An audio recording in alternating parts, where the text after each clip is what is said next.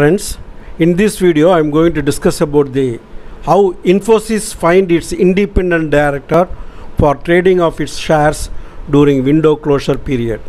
Infosys limited on 14th august 2020 has notified the stock exchanges of, of the occurrence of inadvertent trade by a designated person. The portfolio management services of Bela Parikh spouse of the Bobby Parikh an independent director of the company had bought 2754 shares during the open trading window period without the knowledge of Bobby Parikh and without obtaining pre-clearance of trade. So these are all the main allegation. So without obtaining pre-clearance from of trade and also without the knowledge of the independent director Bobby Parikh, his her spouse bought the shares. Bobby Parikh is the joint holder of, of that account. Mr. Parikh has confirmed that he was not in possession of any unpublished price sensitive information UPSI. The audit committee of the company was notified of the matter. Based on Mr. Parikh's submission, the audit committee has concluded that this was an inadvertent trade made without intent to violate the company's insider trading policy or the SEBI's prohibition of insider trading regulation 2015 PIT regulations. However, the audit committee has determined that there was a violation of the company's policy and PIT regulations and has, has therefore imposed on Mr. Parikh a penalty of rupees 2 lakhs which amount shall be remitted to Investor Protection Education Fund IPEF in line with the PIT regulations.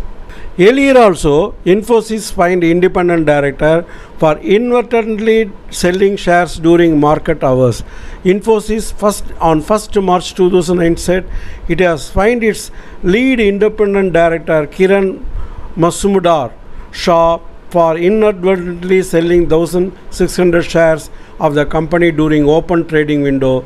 The shares were sold by the portfolio management services without obtaining clearance, Infosys said in a filing to the stock exchanges. Shaw, who was not aware of the transaction, was fined rupees 9.5 lakh that she needs to pay to a charity organization of her choice. Lessons learned as soon as there is a origination of UPSI with an insider, the trading window must be closed at that point of time.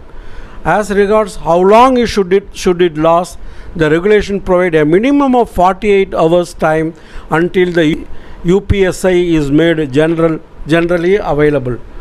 Other than trading window closure for quarterly financial results, there can be other even basis situations during which the trading window must be closed. Declaration of dividend, change in capital structure of the company, then mergers, demergers, acquisition, delistings, disposals, and expansion of business and such other transaction, changes in key managerial personnel. In the above case, Mr. Parikh's spouse of the independent director sold shares during the op open trading window. Earlier also, independent director Kiran Mazumdar Shaw inadvertently sold 1600 shares of the company Infosys during the open trading window.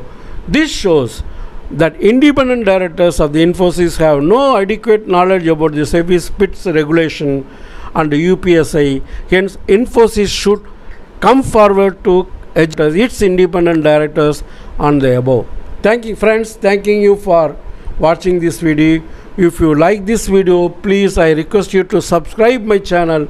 Thanking you once again, R V Seckar, practicing company secretary.